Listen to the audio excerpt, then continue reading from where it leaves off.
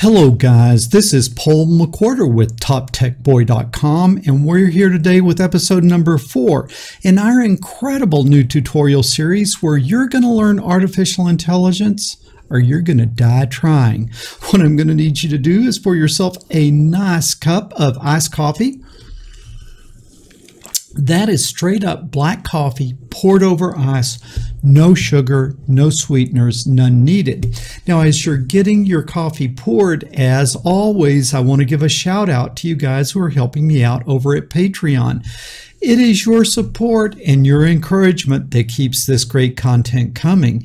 You guys that are not helping out yet, look down in the description. There is a link over to my Patreon account. Think about hopping on over there and hooking a brother up. But enough of this shameless self promotion. let's jump in and talk about what we're going to do today. And what we are going to do is we're going to see how to install Visual Studio Code on a Windows 10 machine.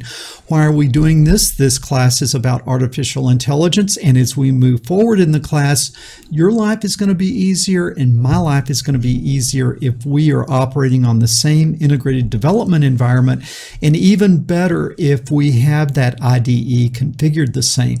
So even if you have Visual Studio Code, I hope you'll watch watch this lesson so that we end up with systems that are in sync with each other and it just makes things a whole lot easier. Guys, you've been really patient with me. This is what lesson four. And in these lessons, we've had to lay some groundwork. We've had to do some build a foundation for the work. In lesson number two, I showed you how to operate on multiple versions of Python on the same computer. And then last week, what I showed you is in lesson number three, I showed you how to work with Python virtual environments. As we get into artificial intelligence, you got to kind of have some of that background knowledge with Python to be successful. And then what we'll do today is install Visual Studio Code. I promise you guys next lesson, lesson number five, we'll get into the really fun stuff and the cool stuff, and we'll actually jump into OpenCV, and you'll be able to launch your webcam and show videos on your screen, start doing things like that. So, if you have not ordered your webcam yet, look down in the description. There is a link over to the identical Logitech webcam that I'm using. And if you use the same webcam that I am using, you will get the same result that I'm using. But if you have some old laptop with some random laptop with some random uh, camera on it, I don't know. I don't know if you'll get the same result as I. You can try, but the safest thing is if we have the same system and we have the same hardware. Okay, enough of this banter and chit chat and introductory nonsense. Let's jump in and let's get this job done. Okay, what I'm going to need you to do is I'm going to need you to switch over here and I will get out of your way and I need you to launch a browser and I like to use the most excellent DuckDuckGo. And what we are going to search on is we are going to search on download Visual Studio Code. Download Visual Studio Code. And we get this first result back. Download Visual Studio Code. It is at code.visualstudio.com slash download. We will click on that. Okay, we are operating on Windows. I am on a 64-bit Windows machine and I want the user installer. So for me, I'm the upper left of the kind of nine blocks there. I'm on 64-bit user installer. I will click on that. And when I click on that, we should be seeing here very quickly the happy little download icon showing that it is downloading Visual Studio Code.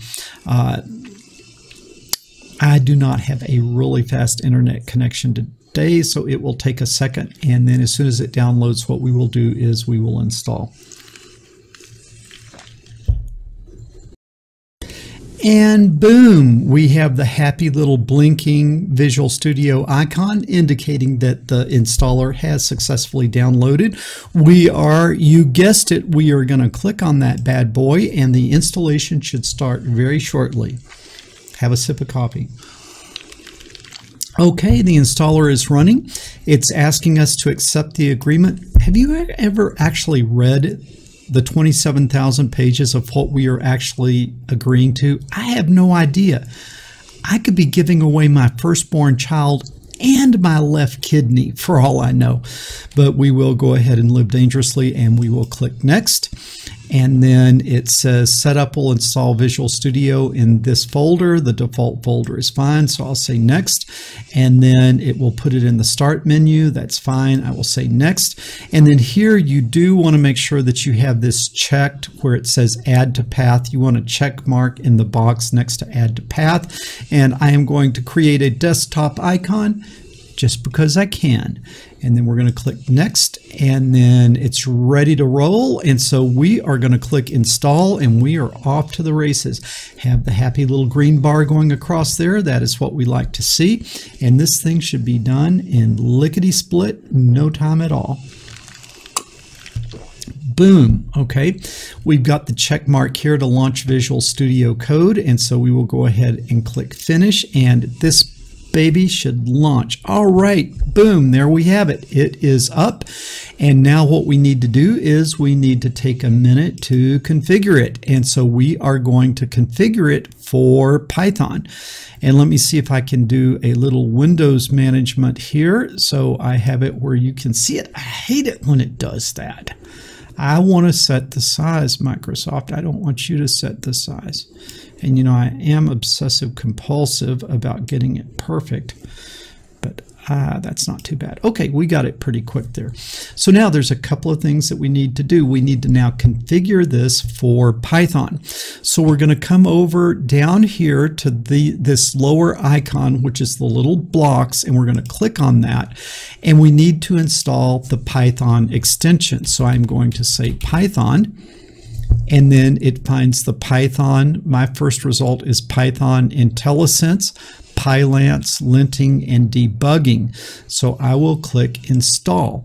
And now it will take a second to download this and install. And what, uh, what this is, is these are just kind of add-ons to Python. This is not Python itself. Now what you have to understand is Python does not come with Visual Studio Code. If you were with me on lesson number two in this class, we installed Python 3.9.6 and 2.7.9, or 3, 3.9.6 and 3.7. So we have two versions of Python already installed on our system. And what we can do is we can use either one of those. If you have not installed Python yet, the Python interpreter, the Python application, you need to go back to look lesson number two and you need to do that lesson or you need to install Python on your own because understand Python does not come with Visual Studio. You point Visual Studio to the Python that you have already installed. Okay, and we now have the happy little check mark by installed, and so that is done, and that looks good. So now we have the Python add-ons that are helpful for us to use in Visual Studio. Now, one of the really nice things about this is, is that it is this IntelliSense, and what IntelliSense does is IntelliSense gives us helps and hints as we're typing code, and so like if OpenCV has all these different parameters, it sort of reminds us of what our options are. And so it's a really useful thing to have uh, installed. Okay, now what I want to do is I want to configure it where it looks the way I like it. And so I'm going to come up to File, and I'm going to come down to Preferences, and I'm going to come over to Color Theme. You guys can play around with the color theme that you like. Some people like white backgrounds, some people like dark backgrounds. I really like the Monokai. I really like the Monokai, so I'm going to select that, and that looks pretty good. I like it as we start coding, the kind of like highlighting colors it uses. You can play around and use the one that you like the best, but this is the one that I'm using. Okay, now we have to take Visual Studio Code and we've got to point it to the version of Python that we want it to run. So we do that by clicking all together, Control, Shift, and P as in Paul. Control, Shift, P. And we get this search bar. And then we need to search on Python and then you need to put a colon in and a space and then S for select. Select and then you can see it gives me the option of Python select interpreter. That's what we want to do, so we'll click there, and it's out looking for Python on my system right now, seeing what is there. And this is what it found. It found what we installed in lesson number two, Python 3.9.6 and 3.7.9. Now, why did it find those two versions of Python? Because when we installed them, we added it to the path. There was that little check mark when you install Python, you say add Python to path. And so these two versions of Python are in my Windows environmental path, and therefore Visual Studio Code was able to find them. So let's just come up and say, let's run Python 3.7.9 just for fun. And then we're going to come over here and click on this little double page icon like that. And what you can see is, is now you've got to tell Visual Studio Code where you're going to be working, where you want to save your files, where you want to save your programs. And so we need to point it to a folder to work in, a working folder.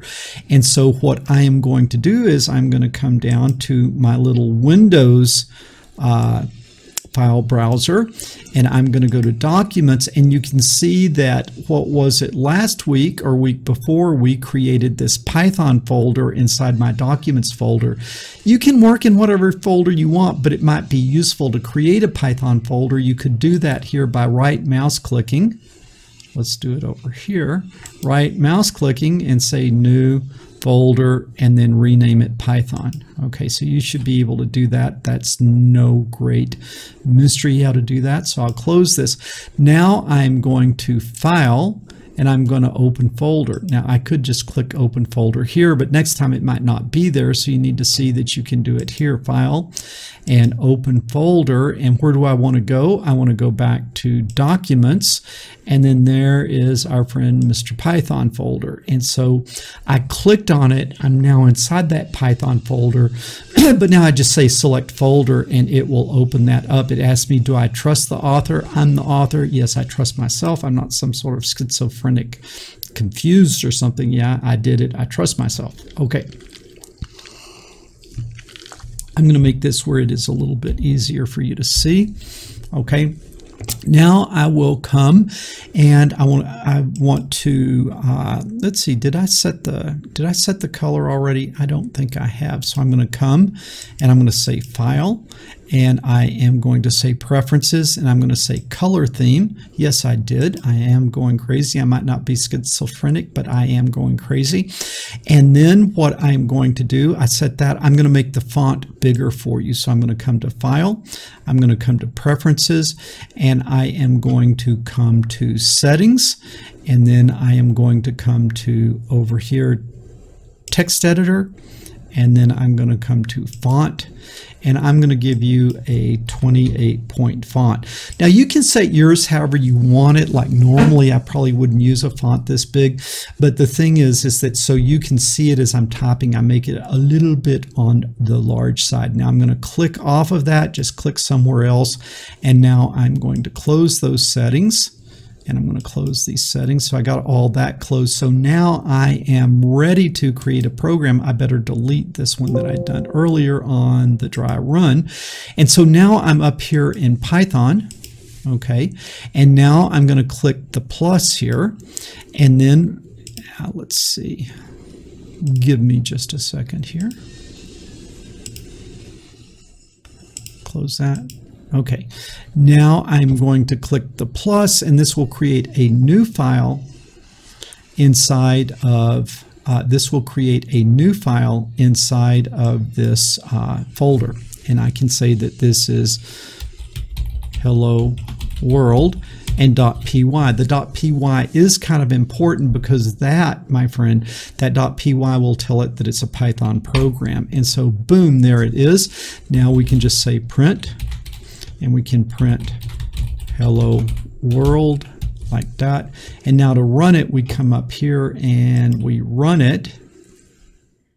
And it is taking a freakishly long time to do it. Okay, there it is. Boom! Hello world. Okay, but what I want you to see is, is that it, in fact, what is it running?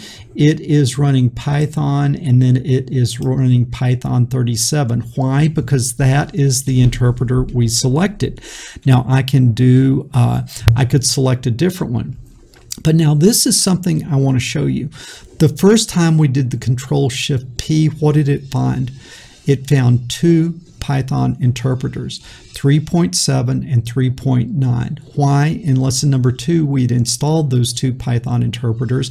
We had put them in the path when we did the installation, so it offered me two choices.